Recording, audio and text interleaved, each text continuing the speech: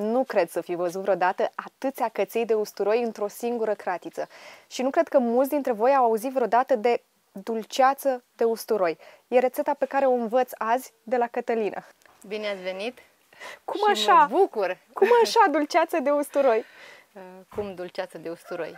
Efectiv, așa, lucrând de atâția ani cu usturoi, uh, m-am gândit, eram într-o zi la scos usturoi și tot uh, scoțând îl mai atingi, se mai strică un cățel, se mai strică o căpățină și m-am gândit eu, zic că se face dulceață de ardei iute, dulceață de mm, pătlăgică, de alte cele legume.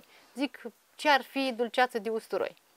Ajungând acasă, chiar am căutat, uh, cred că nu chiar în ziua aia, a doua zi, mă rog, uh, am căutat pe internet și Să am vezi dacă găsit. există o astfel dacă de rețetă. Există. Deci nu știam, nu auzisem niciodată, mi-a venit mie așa și totuși, până la urmă, o mai gândit și altcineva înaintea mea Înaintea totuși. ta.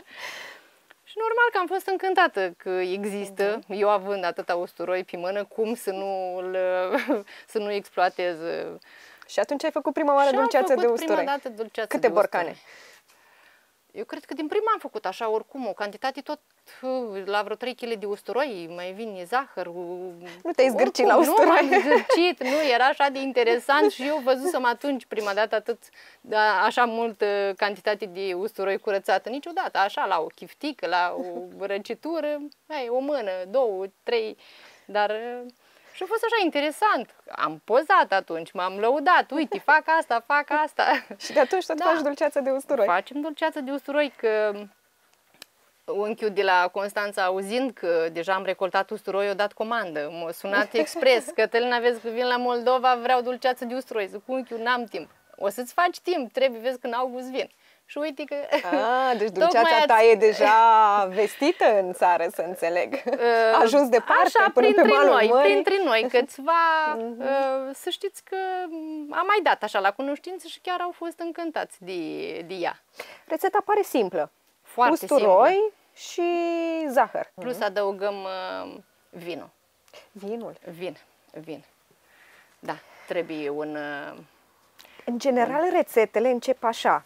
Uh, se iau 3-4 căței de usturoi, Da, da, Noi se iau avem vreo aici 3-4 kg de usturoi. Vreo... 400 Așa, de la de cupălău. căței de usturoi. De la cupălău, deci nu putem vorbi aici de 3-4 căței de usturoi. Aici e vorba de cantități mari. Noi suntem producători de cantități foarte mari de usturoi. Anul ăsta chiar parcă ne-am întrecut pe noi, copălăienii, foarte frumos. Asta fost un înseamnă an bun. un an foarte bun, foarte bun. Chiar suntem mulțumiți cu toții. Cu toate că nu pot să zic că nu am avut într-o, într-un teren unde s-a stricat. Dar ce-a rămas a fost bun, iar pe alt teren a fost foarte, foarte mulțumitor și eu cred că la toată lumea a fost așa. Cât de Și mare a cum să fost nu uh, facem recolta familiei?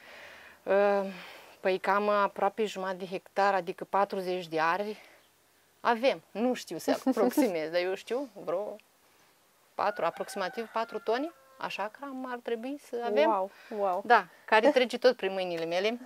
L-am plătit. da, tot usturoiul îl valorificăm noi, soțul se duce cu el la vândut, eu acasă cu copiii uh, îl curățăm, îl facem cu nuni.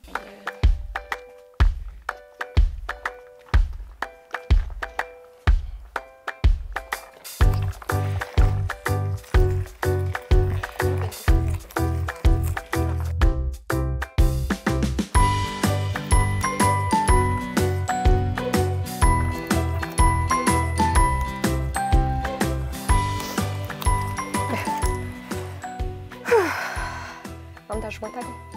Sper că jumătate sunteți. Dar cu Doamne ajută merge. Până de seară avem timp. Ai cum, nu?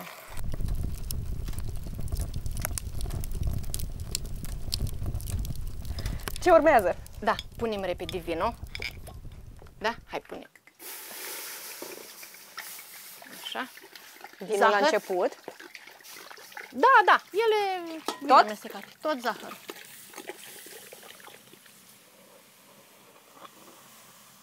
Așa. Va fi o dulceață extra dulce. Și acum usturoiul. Hai, eu țin asta, așa. Și ia tu lingura. Eu sunt stângaci. Da.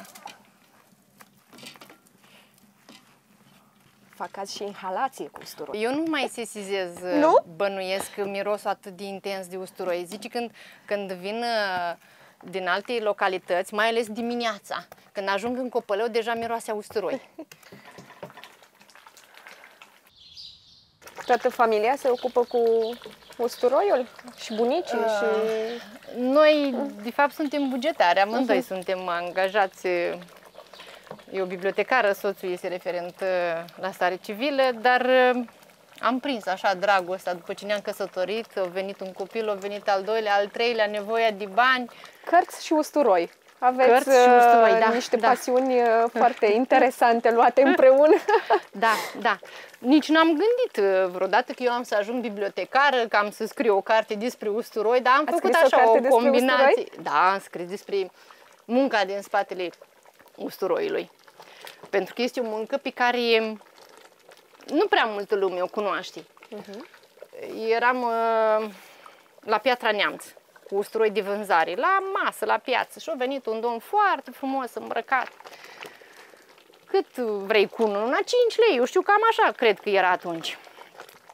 Și el a cerut neapărat explicații, cum, să, cum îmi permit eu ceva de genul ăsta, cum îmi permit eu să cer 5 lei pe o funie de usturoi. Cum adică îmi permit, dar știți câtă muncă este? și așa v-ați hotărât să scrieți o carte. Nu, și nu asta au fost. După aia tot au fost așa mai mulți factori pe parcurs. La un moment dat am ajuns la un bătrân de 90 ceva de ani și povestea cu atâta drag tot așa despre munca la usturoi. El a avut 11 copii. Și cum spunea, țăran, agricultor, cum a ținut el copiii la școli, cum era școli profesionale, totuși era destul de greu să mm, îl trimis la Iași sau unde se făceau, cum se duceau ei. Și cu atâta drag mi-a povestit uh, bătrânul ăla, nenea Elie, doamne, așa, și am zis că trebuie consemnat undeva. Și mi-a dus să-mi aminte și alte motive. Zic, hai să... Ei, asta a fost un punct de pornire. Să povestești și altora. Și m-am ce mi-a dus și povestit la el altul, mie. și la altul, și la altul. Și am cules o serie de povești care chiar le-am pus într-o carte. Și sunt acolo și uh, mi-i drag întotdeauna când vorbesc despre el.